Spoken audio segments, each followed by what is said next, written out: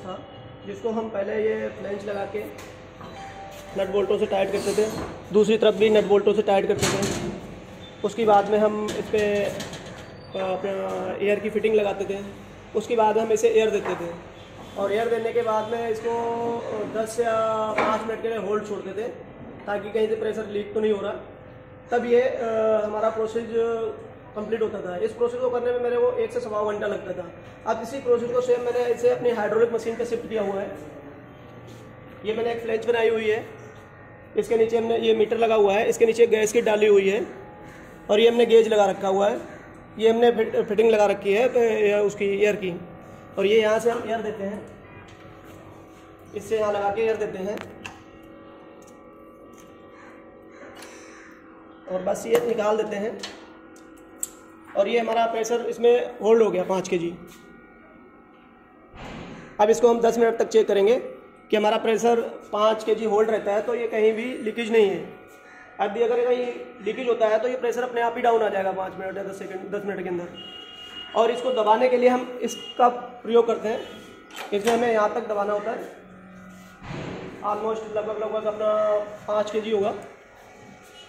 पाँच के जी या दस के जी आसपास ओ सॉरी एक दो तीन चार पाँच छः सात आठ। हाँ आपका करीब तीस के जी वो सॉरी पंद्रह के जी के आसपास हो गया ये। पंद्रह के जी दिया तो पाँच के जी हमने प्रेशर यहाँ दिया। तो इससे अभी हमें पता लग गया बिल्कुल लीकेज नहीं है। तो इस प्रोसेस को करने में अपने को बहुत से ज़्यादा पंद्रह से बीस मिनट भी नहीं आते हैं। मैक्सिमम पंद्रह मिनट लगते हैं। पहले हमें कितना टाइम लगता था इसमें? पहले इसमें एक से सवा घंटा लग जाता था। और, और क्या? और दूसरा ये है कि इस प्रोसेस को अब कोई भी इंजीनियर मेरा बड़े आराम से कर सकता है। पहले उस पर नट बोल्ट टाइट करने के लिए सारे इंजीनियर में बचते रहते थे कि सर मैं नहीं करूँगा मैं नहीं करूँगा। अब इस प्रोसेस को कोई भी कर सकता है आराम से। और क्या फ़ायदे हुए हमें इसको? दूसरा ये नेट बोल्ट से जो हमारे यहाँ स्क्रैच पड़ते थे वो भी खत्म हो गए क्योंकि हाइड्रोलिक सिस्टम है पूरा। और सबसे अच्छा ये है कि इसमें टाइम का बहुत ज़्यादा बचत हुआ है कि जो हम सवा घंटे में करते थे वो हम पंद्रह मिनट में कर रहे हैं। दूसरा इसको अगर हम कभी कभी क्या होता था हाइड्रो टेस्टिंग पे भेज देते थे। हम्म। तो इसमें क्या होता था कभी अपना कोई गंदा पानी डाल देता था ऐसे टर्बाइन मेरी रुक जाती थी। तो अब ये बिल्कुल एयर से हो रहा है टेस्ट तो इसमें कोई ख़राब होने के भी चांसेस नहीं है। इससे क्या टेस्ट की क्वालिटी भी इम्प्रूव हुई? जी। ये ये डब्बे हैं हम्म, और ये ऐसे वायर रखा जाता है। है? ना?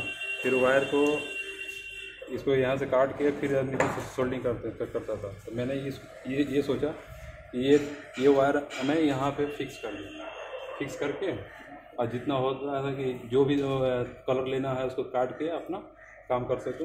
और इसको ये डब्बे भी की कोई ज़रूरत नहीं है। अब ये डब्बा भी बच गया और मेरा टाइम भी बच रहा है इसमें।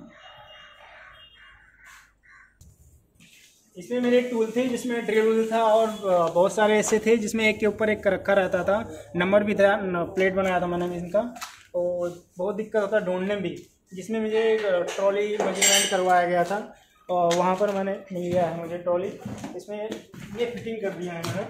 फॉर्म काट के लगा दिया है सारा, सब नंबर जो है इस पर नौ पॉइंट नौ का ड्रिल का और इसको ड्राइवर बर्नियर और ये इंची टेप सबका लगा दिया गया जिससे ढूँढने से आसानी हो जा रहा सबका।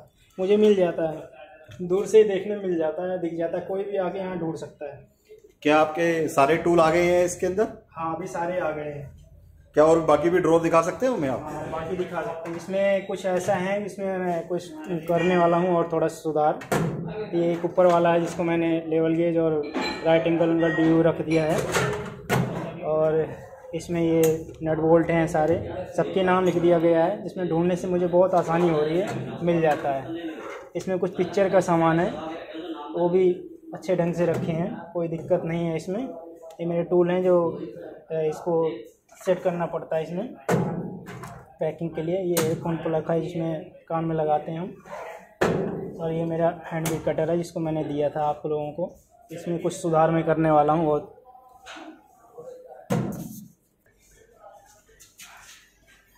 ये हमारे ड्रिल मशीन के पिक्चर थे फ्लेंचो के। जो ऐसे प्राइमर होकर के सिर्फ़ रहते थे पहले। तो इनमें कोई नाम, कोई साइज़ कुछ नहीं के, पता नहीं चलता किस साइज़ का, किस साइज़ का नहीं है। तो कोई नया व्यक्ति आता है, उसको ढूँढने में काफ़ी टाइम लगता है किस साइज़ का, किस साइज़ का तो हमने क्या करा अभी? ये जैसे हमारा, ये है हमारा 200 का फीचर तो अभी क्या करा हमने इस पर दो सौ mm भी लिखवा दिया है। किसका है? पी एन सोलह में है, वो हमें पता चल गया। और इस पर हमने पेंट भी लगवा दिया। जिससे हमारा कोई भी अभी कोई भी नया दूसरा बंदा आता है ना कोई नया व्यक्ति आता है जिसको नहीं पता वो पढ़ के देख के आसानी से ढूंढ सकता है। तो पहले से हमारा काफ़ी टाइम बचा है पिक्चर को ढूँढने के लिए। और और इस... इनके पेंट करवा दिया तो इनकी लाइफ और सुंदरता भी बढ़ गई। है नवीन स्टोर से और मैं आप लोगों को ये दिखाना चाहता हूँ कि एक ये पाउडर कोटिंग पीस है और एक हमारे यहाँ ये पेंट बॉडी पीस है। एक्चुअली क्या है कि पहले जब हम लोग पाउडर कोटिंग के लिए भेजते थे ना वेंडर के पास तो उससे अपने को जो है भेजने के लिए मिनिमम क्वांटिटी और फॉलोअप ये दो चीज़ों के लिए हमें बड़ी समस्या होती थी कि हमें उससे बार बार फॉलोअप करना पड़ता था। आज उसके पास लेबर नहीं है आज वो काम नहीं कर रहा है हमने उसकी मिनिमम क्वांटिटी पूरी नहीं करी है। तो अपने को उसके लिए डिलीवरी डेट के लिए ना बड़ा ही स्ट्रगल करना पड़ता था। तो हमने अ, कुछ परमिशन लेके अपने सी साहब से और हमने पेंट का प्रोविज़न करा। और पेंट वाली बॉडियों से अपने को ये बेनिफिट आया कि जो हमारा टाइम ऑफ़ डिलीवरी है, वो बहुत बचा।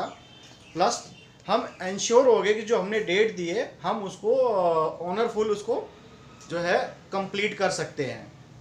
Thank you thank you so much